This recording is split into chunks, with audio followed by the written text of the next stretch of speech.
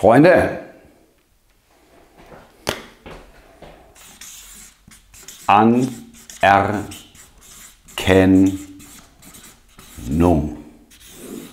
Anerkennung, Freunde. Ja, heute mal ein ganz anderes Thema.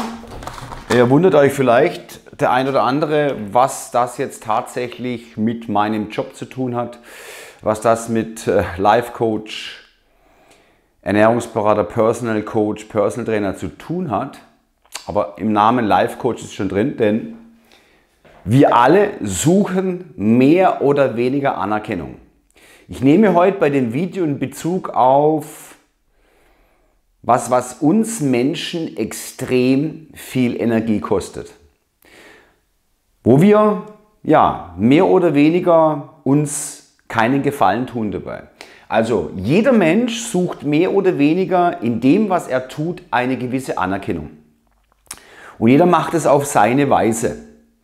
Und äh, das wird oft auch, gerade jetzt auf Social Media Plattformen, wird das ganz oft torpediert. Es werden Leute beleidigt, es werden Menschen beleidigt, die durch ihr Tun, durch ihr Können nach Anerkennung suchen. Das ist auch mehr als legitim, denn jeder Mensch versucht natürlich diese Anerkennung zu bekommen. Warum? Weil es natürlich eine Befriedigung ist, wenn man Anerkennung bekommt für das, was man tut, für die Leidenschaft, die man ausführt. Wenn man da Anerkennung bekommt von fremden Menschen, ist das schön, da fühlt man sich wohl. Das triggert natürlich unser Belohnungszentrum. Unser Serotonin, Wohlfühlhormon geht nach oben, unser Dopamin, Belohnungszentrum geht nach oben. Es fühlt sich angenehm, angenehm an. Deswegen versucht jeder auf seine Art und Weise Anerkennung zu bekommen. Und das Problem ist, was dahinter steckt, ist, dass viele natürlich anderen Menschen diese Anerkennung nicht gönnen möchten. Und da steckt dieser krasse Energiefresser drin und der nennt sich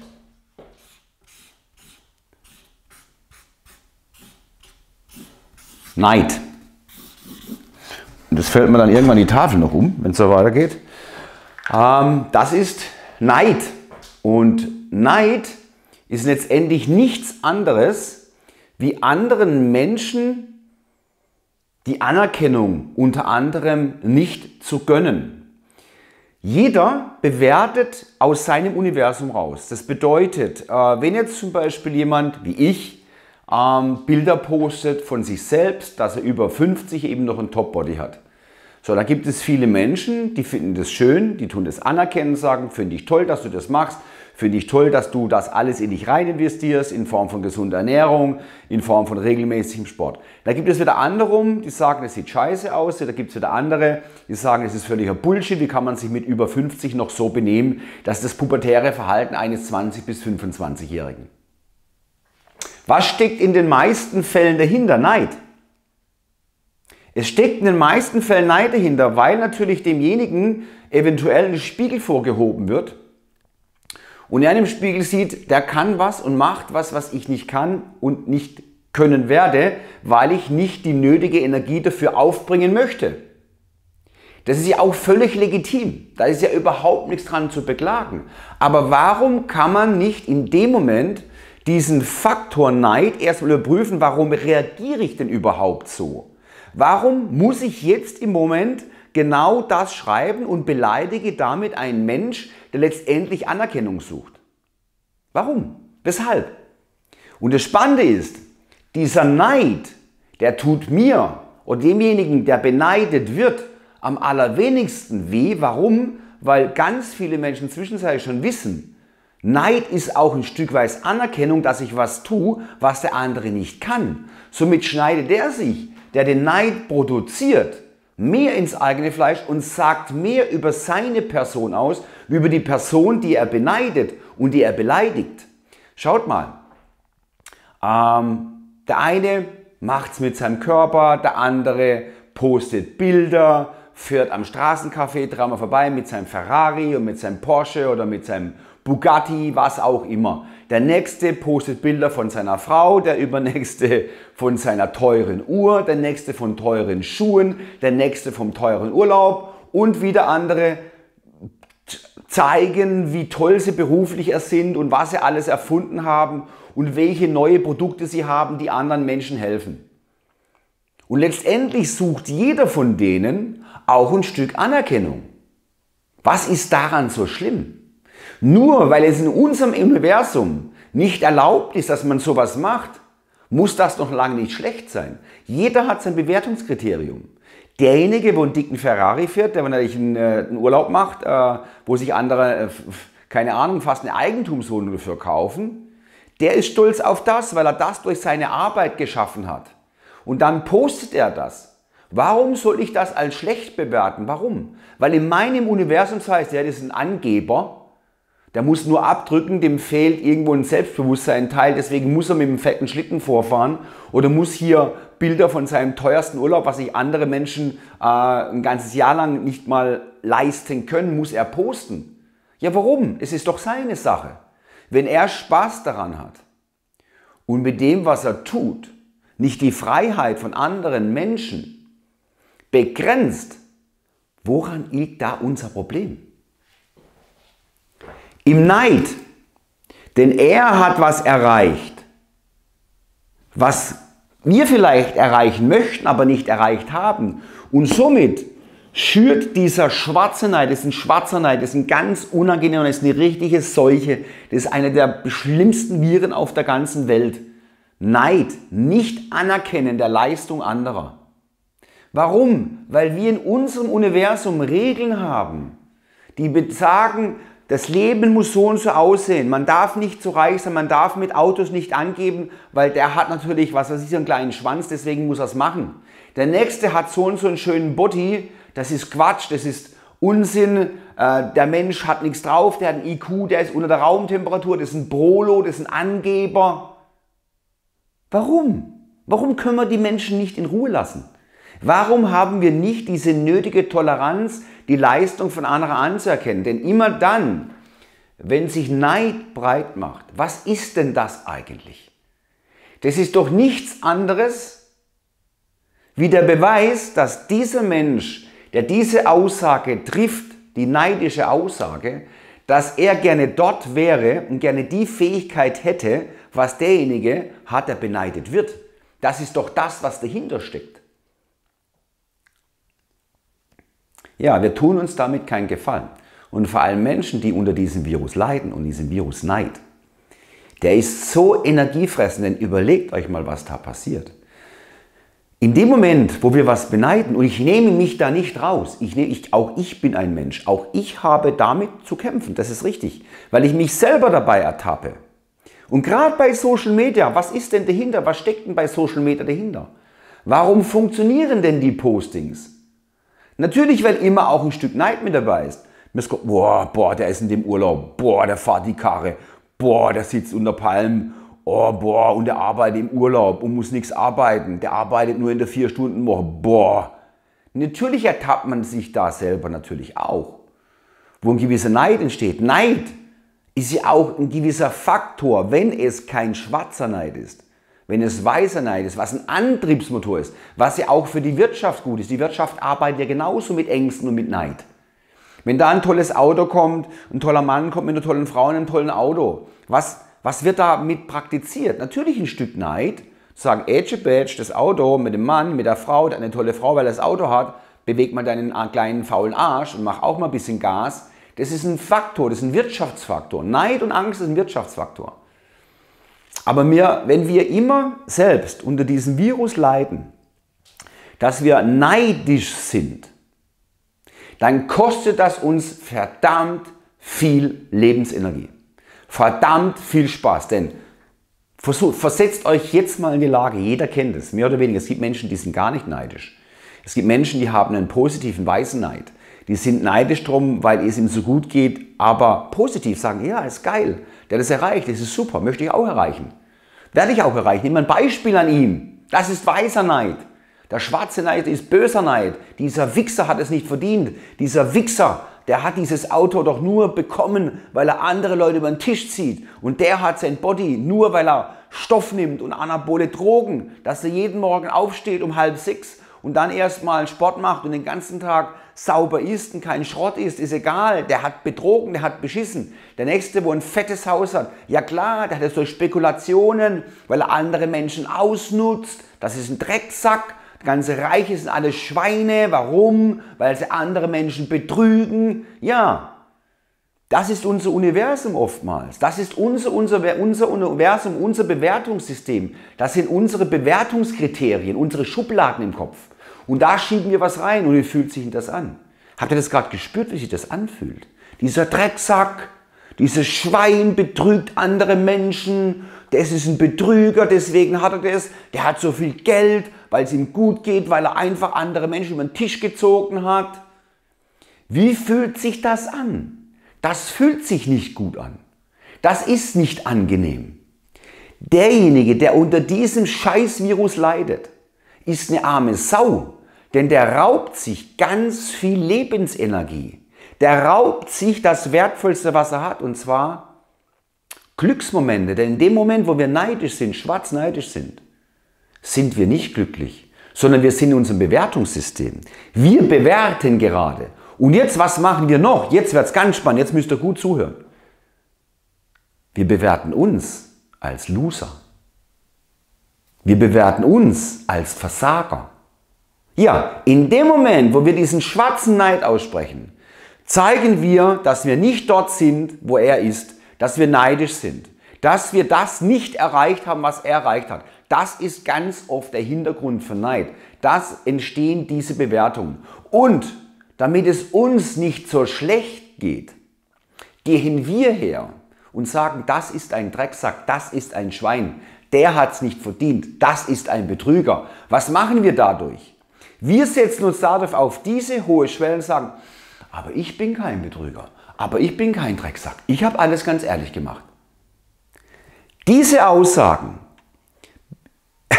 treffen eine größere Aussage über denjenigen, der sie trifft, wenn er dazu was schreibt. Manche denken nur dazu, weil auch nur denken, neidisch denken ist auch scheiße. Manche bringen es ja tatsächlich für ein Schreiben auch noch was zu. In Social Media Plattformen, YouTube, äh, Facebook, Instagram sieht man sie immer wieder. Dass Menschen torpediert werden, die, ja, Anerkennung suchen. Und wenn wir Anerkennung suchen, dann verkaufen wir auch was. Denn hinter allem, was wir sagen, was wir tun, jetzt wird es auch wieder spannend, bitte genau zuhören. Hinter allem, was wir sagen, was wir tun, suchen wir was. Hinter allem. Wenn wir eine Aussage treffen, wenn wir mit Menschen sprechen, ist nicht so, dass wir einfach nur Worte aus unserem Mund purzeln lassen, die sich aus verschiedenen Buchstaben zusammensetzen, sondern jeder Mensch denkt sich dabei. Und ganz viele Menschen sind natürlich immer bedacht, dass durch das, was sie sagen, dass dadurch was geschieht. Es entsteht eine Erwartungshaltung. Wenn wir was posten, wenn wir einen Text machen, wenn wir Bilder machen, egal wie philosophisch der Text ist, wir suchen nach Anerkennung. Egal wie einfach der Text ist, ob es einfache Bilder sind, wir suchen nach Anerkennung. Wir wollen belohnt werden. Das Belohnungszentrum erwartet eine Belohnung. Und somit werden ganz oft Sätze und Worte formuliert, wo hinten dran eine Erwartungshaltung steht. Und was für eine Erwartungshaltung wird das sein? Natürlich Belohnung, Anerkennung der Leisten, Leistung. Und viele Menschen möchten das nicht, weil jetzt auch wieder spannend, ihnen mit großer Wahrscheinlichkeit in dem Moment, wo sie es tun, die Anerkennung fehlt, sie, die nicht die Leistung gebracht haben, die sie gern bringen würden. Und daraus entsteht dieser Neidfaktor. Und dieser Neidfaktor kostet uns Menschen scheiße viel Energie und es stehen, entstehen ganz viel unglaublich stressige, nicht glückliche, unglückliche Momente in diesem Moment. Und zwar einmal natürlich auch für den, der angegriffen wird, wenn er es wenn wenn falsch äh, interpretiert. Ist ja auch immer eine Frage der Interpretation. Wie interpretiere ich tatsächlich eine Aussage, eine Körpersprache, eine Mimik? Lasse ich das zu? dann habe ich natürlich ein Problem. Aber das größte Problem entsteht immer bei demjenigen, der diese Aussage macht, der diese Körpersprache hört. So ein Wichser. Der hat ja nichts drauf, Angeber. Wie fühlt sich das? Fühlt sich scheiße an, oder? Das fühlt sich scheiße an, weil in dem Moment haben wir ein Szenario im Kopf. Scheiße, Alter. Scheiße stinkt. Scheiße ist Müll. Das macht keinen Spaß. Das ist für denjenigen, der diese Aussage trifft und wenn er es nur im Innerlichen denkt, er muss es nicht mal schreiben. Wenn dieser verfickte Neid uns am Kragen hat und das ein ganzes Leben, überlegt mal, ihr seid damit behaftet, von eurer frühen Jugend bis ihr ins Grab geht. Wisst ihr, wie viele Momente ihr im Leben verpasst? Wisst ihr, wie viele Momente ihr im Leben die Sonne nicht seht? Wisst ihr, wie viele Momente im Leben ihr keinen Spaß habt? Genau durch diese Scheißeigenschaft. Und soll ich euch was sagen? Das ist auch was, was wir in unseren Genen mitbekommen. Neid. Neid, wenn du Vorfahren gehabt hast, beziehungsweise in den Grundgenen des Menschen ist immer irgendwo ein Neid mit verankert. Wenn du jetzt noch Elternteile gehabt hast, ein Mutter oder Vater und die haben das ganz stark in ihrem genetischen Programm weitergeben an dich, dann bist du von der Grundsaat, von der Grundveranlagung hast du diesen Anker. Und wenn du jetzt noch hergehst und die ganze Zeit genau dieses kleine hässliche Neidpflänzchen gießt, dann wird es größer, größer, größer, größer, größer. Und der Neid verfolgt dich bis in dein Grab. Und du hast ganz wenig Spaß in deinem Leben. Deswegen, Neid, N-I-D, Neid, das ist einfach oberster Bullshit. Und soll ich euch was sagen, wie einfach es eigentlich ist? Ich muss immer ein bisschen auf die Uhr gucken, weil gleich kommt ein Coachy. Neid was ist Neid? Einfach mal drüber nachdenken. Denkt, geht mal in euch rein. Fühlt euch jetzt nicht angegriffen. Sondern geht mal in euch rein, überprüft mal, wann und wo ihr neidisch seid. Ob es Momente gibt, Zeiten gibt, wo ihr neidisch seid. Und dann werdet ihr feststellen, jeder wird in seinem Bereich feststellen, dass es Ecken und Kanten gibt. Ah, da sind wir schon neidisch.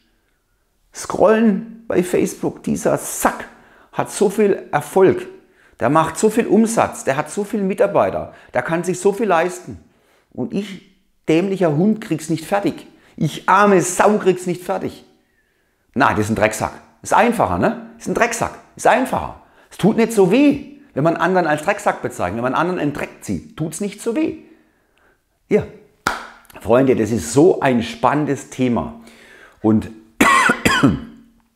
wenn ihr euch damit beschäftigt, dann solltet ihr ehrlich zu euch sein. Einfach mal in euch gehen, euch mal selbst bewerten. Selbstreflexion.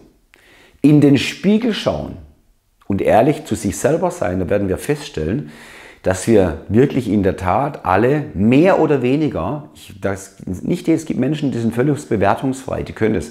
Das ist zu beneiden, das ist zu beneiden. Auch ich leide darunter unter diesem Bewertungssystem. Warum? Weil ich natürlich auch meine Learnings im Kopf habe, mein Universum. Und jeder bewertet alles aus seinem Universum raus, aus seinen Erfahrungen, die er gemacht hat. Unser Erfahrungsschatz lässt uns bewerten. Und auch ich leide darunter. Aber das Schöne ist, dass ich es weiß und dass ich mich selbst dabei ertappe und sage, lieber Andreas, du kleiner Vollidiot, lass doch die Scheiße einfach sein. Weil von der Scheiße hast du überhaupt gar nichts, sondern es ist nur ein Beleg, dass du gerade Schwäche zeigst, dass du gerade ein Spiegelbild und möchtest nicht sehen, du möchtest dieses Spiegelbild verdammt nochmal nicht sehen. Deswegen ziehst du dieses Spiegelbild in den Dreck damit du dich selber aufweist, damit du dich selber gut fühlst, damit du selber deine eigene Schwäche nicht anerkennen musst. Und da sind wir schon wieder, wo? Richtig, energetisch gesehen ist die zweite Sache, ach, weg mit, ha, der Penner, weg mit, ist energetisch eine einfache Entscheidung. Ich bin gut, ich kann alles, ich brauche das nicht. Ich stehe über dem. Ich brauche das nicht. Freunde, sind wir doch mal richtig selbstkritisch. Dann dürfen wir uns jeden Tag, jeder, immer ein Stückchen mehr oder weniger an der Nase greifen. Schön ist, wenn Menschen sich selbst reflektieren und anerkennen, dass Anerkennung jeder Mensch braucht und dass dieser Neid beschissen ist, solange er schwarzer Neid ist. Ein weißer Neid ist was ganz anderes. Ein weißer Neid ist motivierend. Ich habe zum Beispiel Motivatoren, die mir meinen weißen Neid schüren. Ja, die dort sind, wo ich noch nicht sind, die aber ein gutes Beispiel sind und mir den weißen Neid geben und ich den weißen Neid aufnehme und sage, ja, ich werde mich anstrengen, denn er lebt mir das vor, was ich gut finde. Und da lasse ich mal mein Bewertungssystem raus. Denn wenn ich ein Bewertungssystem nehme, kann ich alles schlecht reden. Das ist gar kein Problem. Ich kann alles kurz und klein reden. Warum kann ich es kurz und klein reden? Warum kann ich es schlecht machen? Um mein eigenes Versagen zu verstecken. Das ist alles, was dahinter steckt. Um im Spiegel nicht das Gesicht zu verlieren. Das ist das, was dahinter steckt. Deswegen, ihr Lieben da draußen, das hat vielleicht jetzt mit meinem eigentlichen Beruf Personal Ernährungsberater, wobei Life Coach gehört es mit rein, denn Neid ist ein Energiefresser. Neid frisst uns Glück. Neid nimmt uns Lebensspaß. Lassen wir doch das sein und sind ein Stück weit toleranter und denken mal drüber nach, warum wir überhaupt so sind, warum wir an die Leistung von anderen nicht anerkennen möchten, was dahinter steckt. Und dann werdet ihr feststellen, dass am allerwenigsten die was dafür können, auf die wir neidisch sind. Und es liegt an uns selber, an unserer eigenen Verhaltensweise. So, Freunde, ich habe jetzt meinen nächsten Coaching, dem ich jetzt die nächsten eineinhalb Stunden widmen werde. Und ich fühle mich gerade sehr, sehr gut, weil auch diese Gespräche, was ich jetzt führe, auch über das Thema Nein, das Thema Anerkennung tut mir ja auch gut. Weil ich mich selbst daran erinnere, was wichtig ist. Weil ich mich selbst daran erinnere, was wichtige Werte in unserem Leben sind. Und das ist ein ganz wichtiger Wert, nicht neidisch zu sein. Die Leistungen von anderen Menschen anerkennen. Und wenn ich es nicht mag, dann ein Gang drüber nachdenken. Raus aus dem Bewertungssystem. Es ist seine Sache. Solange er mich mit seinem Verhalten nicht in meiner Freiheit einschränkt, habe ich meine Fresse zu halten. Ganz einfach.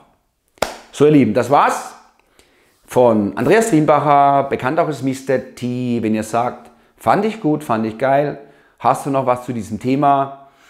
Unten in den Bemerkungen freue ich mich natürlich auch über Anerkennung, Freunde. Über Anerkennung, die von Herzen kommt. Dankeschön.